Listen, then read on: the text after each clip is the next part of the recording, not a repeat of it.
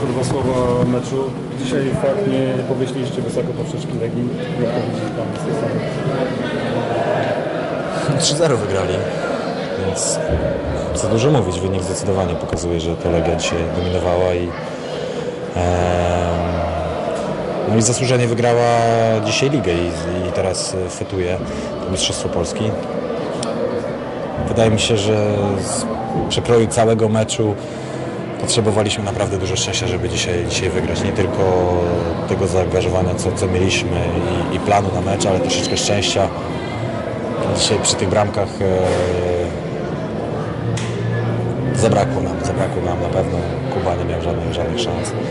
Ale tak jak mówię, no to było zasłużone zwycięstwo Legii. Może trochę szczęścia zabrakło w pierwszej połowie. Mieliście jeden celny strzał. Byłby to piękny gol, gdyby tam wpadła, wpadła piłka na 1 do 1. Ale Arkmalarz spisał się naprawdę świetnie. Myśli Pan, że to by zmieniło oblicze meczu? Mogłoby coś jeszcze na Waszą korzyść zadziałać?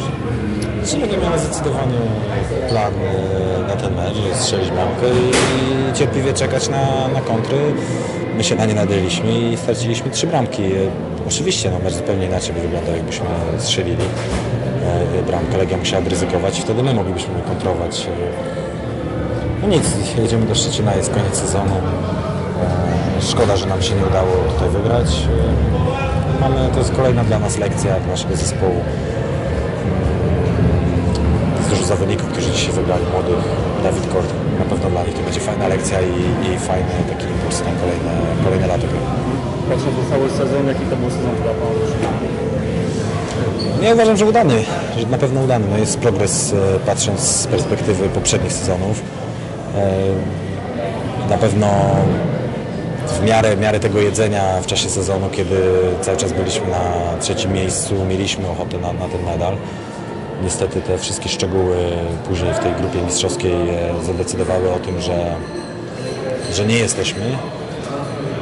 No ale uda- uważam, że, że na pewno nie jest to przegrany sezon, na pewno e, z perspektywy i całego zespołu i, klubu e, nie wracamy na pewno z opuszczonymi głowami do Szczecina.